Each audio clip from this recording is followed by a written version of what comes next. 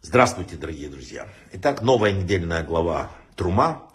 Э, воскресенье. Воскресенье это время Майсы. Я сегодня расскажу Майсу о вере, о настоящей вере. Не то, что каждый говорит, я верю, верю. А вере такой, которая является знанием. Вот я когда смотрю, вот стена здесь, да, я не, не верю, что здесь стена, я знаю, что здесь стена. И вот такая вот вера, она бывает, и она побеждает все. А, город Аждот, много лет назад еще никакой религиозной инфраструктуры, с Бнейбраком, городом, который в основном религиозный, никак не связано. А, Все это очень э, еще в зачаточном состоянии в Израиле. И так водитель рассказывает, еду, обычно э, ехал автобус, он собирал людей, там э, учеников отвозил, практически одни и те же.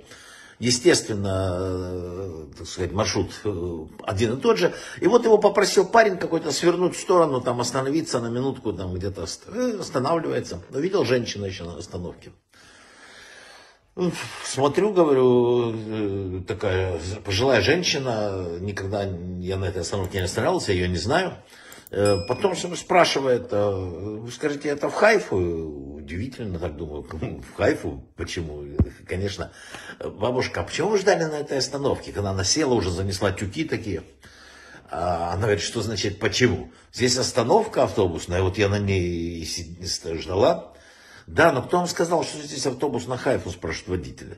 Да никто, она говорит. Мне было непонятно, если вы не знали, что здесь останавливается автобус на Хайфу, почему ждали? Она посмотрела на меня так, говорит, на этого водителя, так, и думает, тугодум какой-то.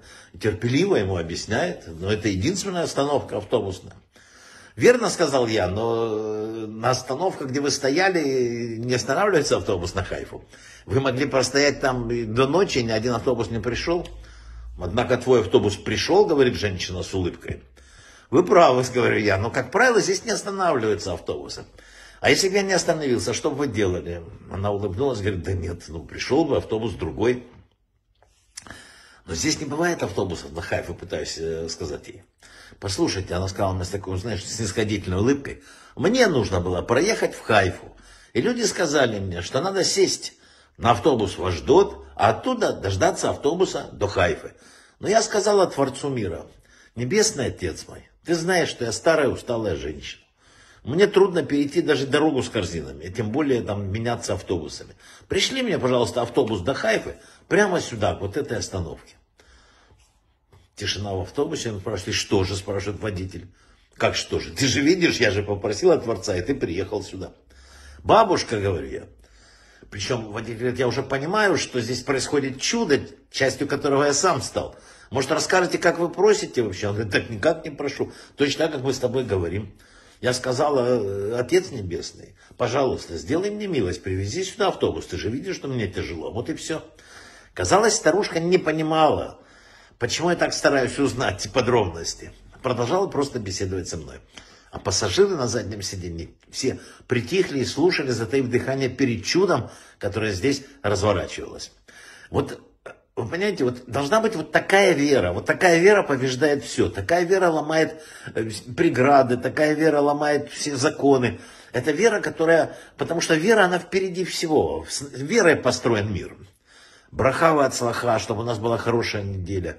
И вот очень хочется, что именно вот эта глава Трума, глава, которая рассказывает о сосудах храма, о создании золотой миноры, чтобы она стала, ну, Отличающийся от всех. Очень уж много э, темного, хочется светлого, такого, как несет свет минора. Брахавы от слаха.